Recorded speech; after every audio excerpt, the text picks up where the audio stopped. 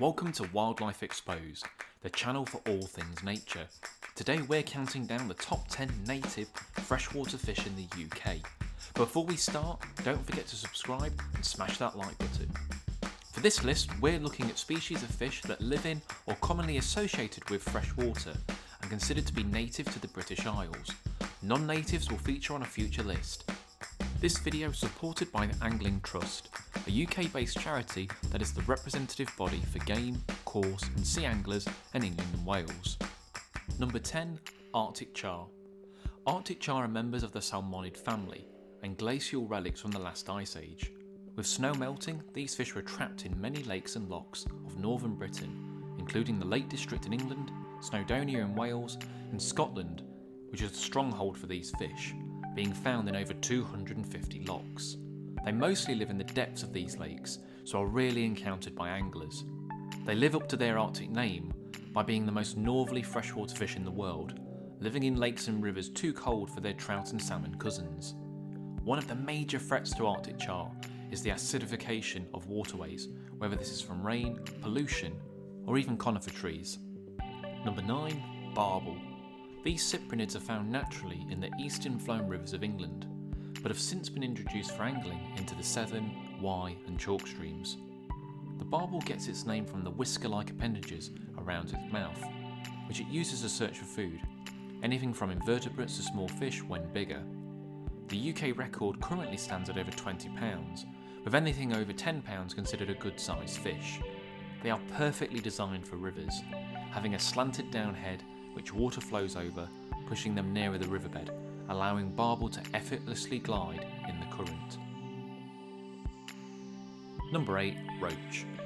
Perhaps the most adaptable cyprinid in Britain, it's found all over the country in canals, lakes, rivers and ponds. Despite not getting to huge sizes, roach can live up to 18 years old, and a fish that's quite tolerant of poor water quality, so often found in urban waterways. Roach are known to hybridise with closely related species like the bream, which have a deeper body, and the rudd, which are more golden and an upturned mouth. The roach has an upper jaw that protrudes below the lower jaw, ideal for bottom feeding, but will take food from the surface also. Number 7. Tench. Sometimes called the doctor fish, it was once thought its slime had healing properties to other fish, although this has since been proven to just be smaller fish trying to transfer their own parasites to the unwilling tench. Found in ponds and slow moving rivers, its rounded fins make it unable to live in fast flows. Its distinctive green colour helps it blend into weeds, and it's one of the only coarse fish that is sexually dimorphic year round. Males have curly pectoral fins and a bulge on their flanks.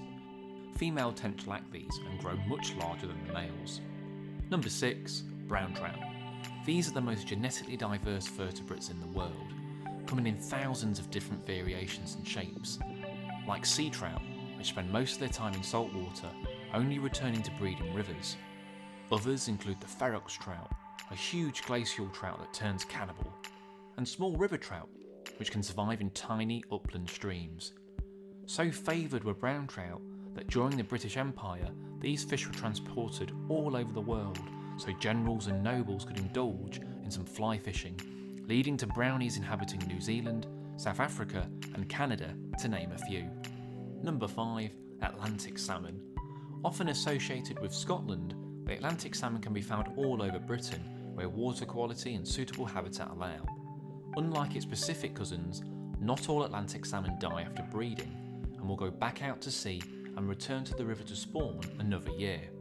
They enter the lower reaches of rivers, sporting a bright silver colour. But over time in fresh water, the fish's body begins to change. The colour of the salmon becomes more golden brown and more drastic in male fish. The skeletal structure of the jaw becomes hooked, and sharp teeth emerge to fight off competition for spawning rights. In highland streams, it can take salmon parr three years before they grow big enough to go to sea, while in chalk streams, the parr can go just one year with the abundance of food available. Number 4. Grayling. Referred to as the Lady of the Stream, grayling look like they could be on a coral reef rather than British rivers. The term Lady of the Stream comes from its large dorsal fin, which had a dress like look to it. Although ironically, males have the larger and more flamboyant fin. Unlike other British salmonids, grayling offspring spring spawners, and males turn a deep black colour during the breeding season. They will fight for attention for female fish, and when she's selected a mate, he'll vibrate next to her and drape his dorsal fin over as they spawn. The Latin name is Thymallus thymallus, referring to its unique smell of the herb thyme. Once persecuted on trout streams, it's now largely left to its own devices. Number 3. Pike. These are Britain's largest native predatory fish, with thousands of teeth coated in anticoagulants. When it bites its prey, they don't stop bleeding. Its body is streamlined, and fins positioned towards the back give it more thrust when chasing prey. Its mottled green patterns help the pike blend into its environment and stalk small fish, frogs, rodents, and even ducklings. Typically, pike are solitary, but during the breeding season, groups of smaller male fish will follow the larger female pike, hoping to mate with her. Number 2. Perch. Characteristic stripes along its body help it camouflage against predators and catch small prey. Smaller perch tend to move in large shoals, while the adults split off into smaller groups as they get bigger. Perch have two dorsal fins, the front one being full of spines and can be erected when the perch shows interest in something, while the back dorsal fin is soft. Perch don't have teeth, but rough pads lining the mouth to grip slippery prey and engulf small insects and fish whole. Number 1. Three spine sticklebacks. Although small, these fish can be found in a vast array of habitats, from ponds, canals, rivers, lakes, and even salt water. Sticklebacks are unusual among British fish in that they show parental care, with the male assuming the role of guardian. He develops bright breeding colours to attract a mate. Although small, normally no bigger than a couple of inches, they are ferocious predators and take anything that fits in its mouth.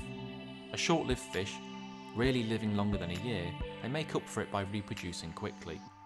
They are hardy fish and can live in stagnant and even polluted water. Thanks for watching, and why not check out the other videos on the channel. Don't forget to comment, like and subscribe. Cheers.